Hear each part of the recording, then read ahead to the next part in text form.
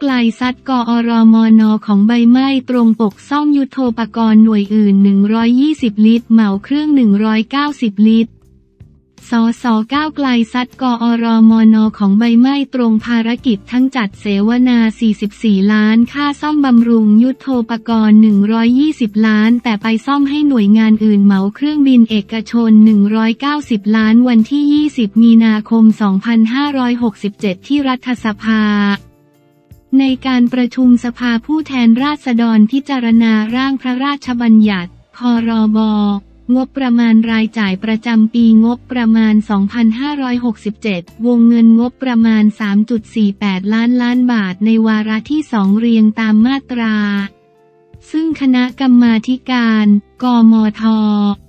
วิสามันพิจารณาร่างงบ รบงบประมาณปี 2567 พิจารณาเสร็จแล้วเวลา 12นาฬิกา25 นาทีพิจารณามาตราเจ็ดงบประมาณรายของสำนักนายกรัฐมนตรีและหน่วยงานในกำกับ โดยนายชยพลสะท้อนดีสสกทม พักก้าวไกลผู้แปรยติอภิปรายว่ากอรมน เป็นหน่วยงานที่ตรวจสอบได้ยากที่สุด และไม่สามารถชี้แจงข้อมูลอะไรได้เลย ไม่เข้าใจว่าทำไมกมทเสียงข้างมาก ถึงปล่อยหน่วยงานนี้ผ่านมาได้ภายในแผนยุทธศาสตร์ของกอรมนจะมีเรื่องโครงการภายใต้แผนยุทธศาสตร์ รักษาความสงบภายในประเทศ ซึ่งมีความน่าสงสัยหลายอย่างตรงที่เนื้อหาของโครงการและแผนงานที่มีเหตุผลความจำเป็นต่างๆ ไม่ค่อยมีความสอดคล้องกัน เช่น โครงการพัฒนาด้านการเมืองและการสร้างความรักความสามัคคีของคนในชาติจำนวน 10.5 ล้านบาท และโครงการเสริมสร้างความมั่นคงของสถาบันหลักของชาติ 33 ล้านบาท 2 โครงการนี้รวมแล้ว 44 ล้านบาท เหตุผลความจำเป็นคือ การให้ประชาชนเพิ่มการมีส่วนร่วมเผยแพร่หลักเศรษฐกิจพอเพียง และหลักเกษตรทฤษฎีใหม่ ซึ่งในอนุกมท มีการถามครั้งแรกทางกอรมนตอบอะไรไม่ได้ เมื่อถามครั้งที่สองได้ให้ข้อมูลบอกว่าเป็นการจัดเวทีเสวนาผู้นำชุมชนสอนหน้าที่พลเมือง เสวนาปัญหากลุ่มอาชีพรวมความรู้ปราดสิ่งเหล่านี้เกี่ยวข้องอะไรกับการรักษาความสงบภายในประเทศ ซึ่งหน่วยงานที่มาชี้แจงไม่สามารถตอบอะไรได้ ขอเอกสารเพิ่มเติมก็ไม่มีให้นายชยพลกล่าวต่อว่า นอกจากนี้ยังมีเงินค่าซ่อมบำรุงยุทโธปกรณ์อีก 120 ล้านบาททั้งที่กอรมนไม่มียุทโธปกรณ์ เพราะเป็นหน่วยงานประสานกับหน่วยงานต่างๆ ในท้องที่เป็นหน่วยงานบูรณาการ แต่ปรากฏว่ามีการซ่อมบำรุงยุทโธปกรณ์ เมื่อหน่วยงานชี้แจงเอาเอกสารมาให้ดู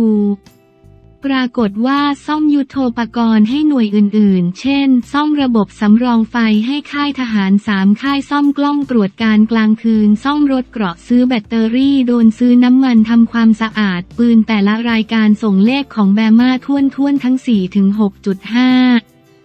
ล้านบาทเหมือนกลัวว่าเราจะไม่รู้เป็นการเสกเลขขึ้นมาเฉยๆ รวมถึงแผนงานยุทธศาสตร์ป้องกันและแก้ไขปัญหาที่มีผลกระทบต่อความมั่นคง โครงการเพิ่มประสิทธิภาพภาครัฐ และการขับเคลื่อนนโยบาย วงเงินทั้งหมด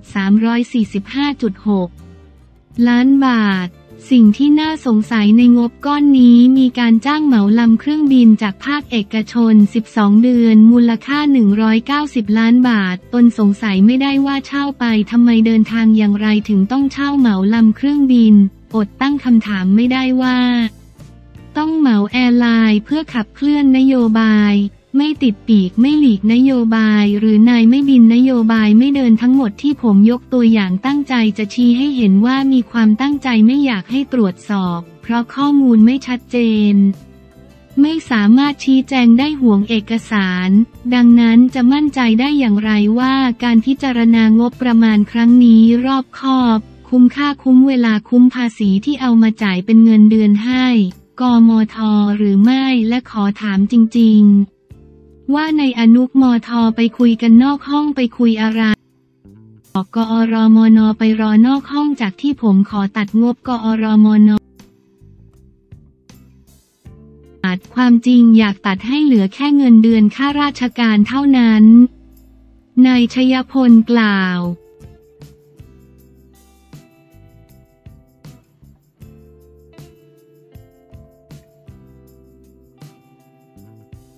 ชนาทิพย์ถึงกับจุกหลังโดนพ่อจุ้งตำหนิฟอร์มไล่เลิกเล่นย้อนเคยท้อคิดแขวนสตาร์ทความเคลื่อนไหวของ ช้างศึก ฟุตบอลทีมชาติไทยที่เตรียมลงสนามพบกับ โสมขาว เกาหลีใต้ในศึกฟุตบอลโลก 2026 รอบคัดเลือกโซนเอเชียรอบ 2 กลุ่ม C นัดที่ 3-4 โดยวันที่ 21 มีนาคม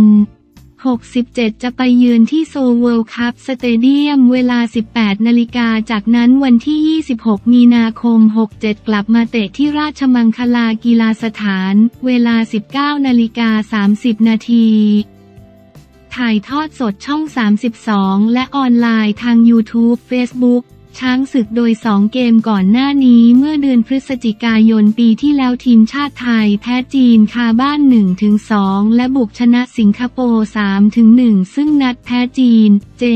ชนาธิป สรงกระสินธ์ ดาวเตะบีจี ปทุมยูไนเต็ดได้รับบาดเจ็บในขณะนั้นต้องพักถึง 2 เดือนก่อนจะ comeback กลับมาสู่ทีมอีกครั้งล่าสุดชนาทิพย์ให้สัมภาษณ์ Facebook fanpage Toyota Spirit of Football ถึงเรื่องราวต่างๆ โดยย้อนไปว่าเกมที่แพ้จีน เสียใจมากๆ เพราะคาดหวังมาก แถมยังเจ็บถ้าวันนั้นชนะจีน กระแสบอลไทยจะมา แต่ก็ยังไม่หมดหวังกับโอกาสในฟุตบอลโลกในเมื่อยังไม่สิ้นสุดกระแสฟุตบอลในไทยคนเชียร์ทีมชาติมากกว่าสโมสรถ้าทีมชาติผลงานดี คนดูบอลสโมสรก็เต็ม อย่าไปคิดว่าไม่มีโอกาสแม้เจอเกาหลีใต้ ผมเองชอบเจอทีมเก่งคนเก่งมันสนุกเล่นไปได้เรียนรู้คิดว่าต้องชนะต้องหลอกแล้วจะมัน ชนาทิพย์ย้อนอดีตถึงวันที่เคยคิดแขวนสตาร์ทเพราะอาการบาดเจ็บ ระบุว่าเป็นช่วงที่เล่นกับคอนซาโดเลซัปโปโร หลังจากเจ็บซ้ำๆก็ท้อโทรบอกแม่ พรสวรรค์ สรงกระสินธ์ว่าอยากเลิกเล่นบอลร้องไห้กับแม่ แต่เป็นอารมณ์ชั่ววูบแค่วันเดียว อยากระบายกับใครสักคนการฟื้นฟูสภาพร่างกายมันเหนื่อย ไม่ชอบเลย เพราะไม่ได้เล่นกับบอลตอนนี้มาคิดว่าทำอย่างไรก็ได้ให้ไม่เจ็บ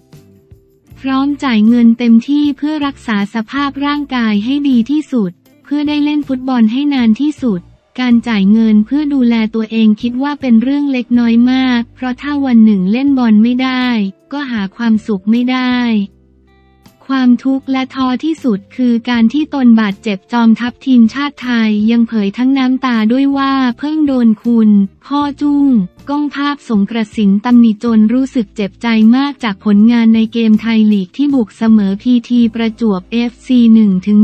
1-1เมื่อวันที่ 10 กุมภาพันธ์ที่ผ่านมา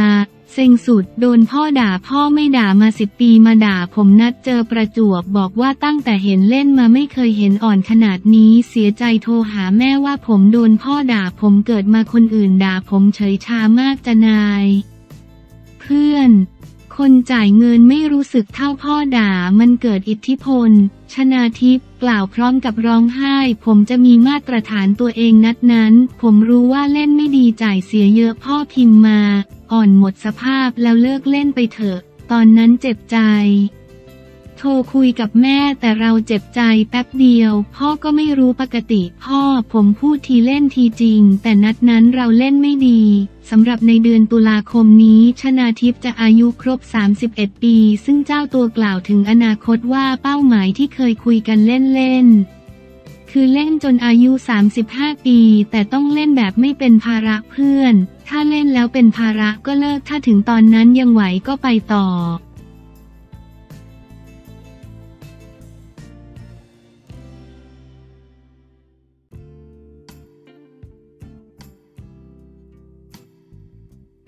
นตจุดเด่นพิธาลิ้มเจริญรัตปัญหาหลังยุบก้าวไกลบทสรุปต่อผลสะเทือนจากการยุบพักก้าวไกล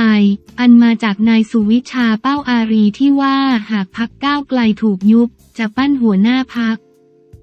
คนใหม่แทนคุณพิธานั้นไม่ง่ายเลย แม้จะสอดรับกับ เป้าหมายของกลุ่มการเมืองที่ต้องการและดำเนินการเพื่อให้มีการยุบพักก้าวไกลเป็นอย่างสูง แต่บทสรุปนี้ของนายสุวิชาเป้าอารีก็อยู่บนฐานความจริง เป็นความจริงที่ไม่เพียงแต่นายสุวิชาเป้าอารีอยู่กับข้อมูลทางการเมืองมาอย่างต่อเนื่องยาวนาน ในฐานะรับผิดชอบนิดาโพ ของสถาบันบัณฑิตพัฒนบริหารศาสตร์เท่านั้น หากแต่ยังดำเนินไปตามความเป็นจริงที่เป็นรูปธรรมอย่างชัดเจน จากกรณียุบพักไทยรักไทย กรณียุบพักพลังประชาชน หรือแม้กระทั่งกรณียุบพักอนาคตใหม่ โดยพื้นฐานก็คือเกิดการแยกและแตกตัวไม่ว่าจะมองผ่านการจัดตั้งพักใหม่ไม่ว่าจะมองผ่านปฏิบัติการอย่างที่เรียกว่า งูเห่า ในทางการเมืองตามมาแต่ที่สำคัญเป็นอย่างมากก็คือการตัดสิทธิทางการเมืองของกรรมการบริหารพักอันถือว่าเป็นแกนใหญ่คนสำคัญ ภาระหนักคือการบ่มเพาะและสร้าง ผู้นำคนใหม่ขึ้นมาถามว่าบทเรียนของการยุบพักไทยรักไทยดำรงอยู่อย่างไรน่าจะเป็นอนุสติอย่างดี เพราะในที่สุดแล้วก็ต้องหวนกลับมา ใช้คนที่เป็นวงในของตระกูลชินวัตร ไม่ว่าจะเป็นนางสาวยิ่งลักษณ์ชินวัตรหรือนางสาวแพทองทานชินวัตรการเกิดปรากฏการณ์แบบนายพิธาลิ้มเจริญรัตจึงเหลือเชื่อ เพราะแทบไม่มีความสัมพันธ์อะไรเลยกับชื่อเสียง และเกียรติภูมิของนายธนาธร จึงรุ่งเรืองกิจบทเรียนของพักไทยรักไทยที่ชูนายสมัครสุนทรเวชชูนายยงยุทธวิชัยดิตชูนายจารุบุตรเรืองสุวรรณชูนายสมพงษ์อมรวิวัฒจึงชัดเจนว่าไม่ประสบผลสำเร็จคำถามก็คือ เหตุใดเมื่อพักก้าวไกลชูนายพิธาลิ้มเจริญรัตจึงประสบความสำเร็จด้วยระยะเวลาเพียงสามปีเท่านั้น ปมเงื่อนอยู่ที่จะหาคนอย่างนายพิธาลิ้มเจริญรัตจากไหนไม่ว่าพักอนาคตใหม่ไม่ว่าพักก้าวไกล ล้วนเน้นว่าการเมืองของพรรคตนคือผู้คนและการเดินทางการเดินทางแห่ง อุดมการเพื่อสร้าง การเปลี่ยนแปลง การเสาะหาผู้นำในแบบนายพิธาลิ้งเจริญรัตใหม่ก็ยากเป็นอย่างยิ่งอยู่แล้ว การสร้างหัวหน้าพักคนใหม่ได้โดดเด่นเทียบและเหนือกว่า นายพิธาลิ้มเจริญรัตยิ่งยากกว่าบทสรุปของนายสุวิชาเป้าอารีจึงทรงความหมายและท้าทายต่อกระบวนการทำงานในอนาคตของพรรคก้าวไกล